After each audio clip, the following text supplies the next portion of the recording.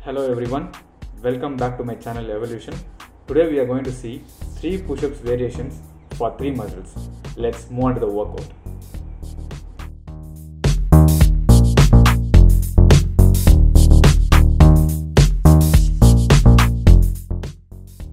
The first one is regular push-ups which is familiar to all of us.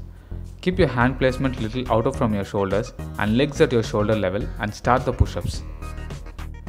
While going down, use time under tension that is go slow as much as possible and come up little faster than that. If you are struggling to do push-ups, you have to learn the basics and master the push-ups at least for 10 count.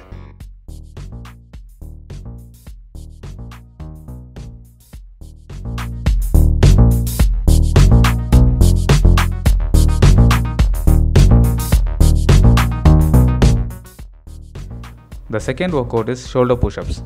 This workout not only works your shoulders, it works your triceps and chest muscles as well.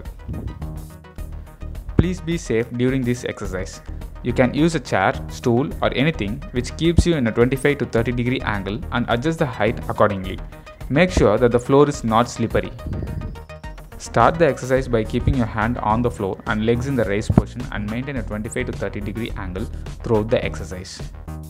Start the movement and try to touch your head on the floor and push up using your shoulder muscles. Maintain a stable core and don't forget to breathe.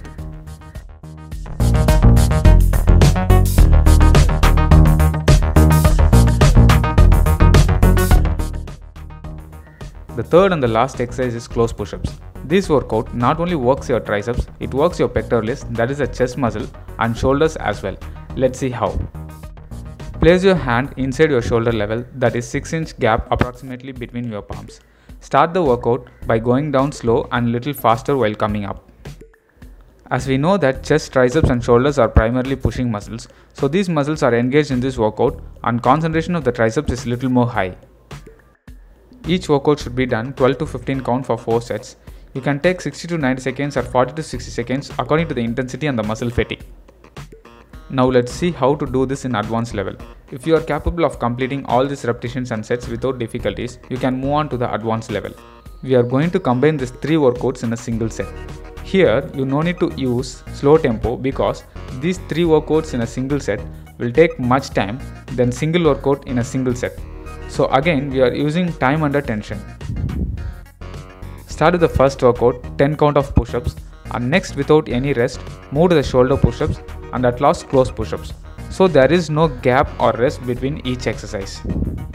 Some people will be fatigued soon and could not complete the reps in the last exercise for the triceps. That is not a problem because your triceps will be worked in the first two exercises secondarily, so incomplete reps in the last workout is not an issue. If you have completed all the exercise for 10 counts without rest, you can increase the number of sets. In between each sets, you can take 60 to 90 seconds rest. In advanced level, a set means a 3 exercise combined without rest. Do minimum 2 sets and maximum 4 sets in the advanced level. This will work all your pushing muscles extremely. If this video helpful for you, don't forget to like and share. And for more updates, subscribe our channel and bang the bell icon.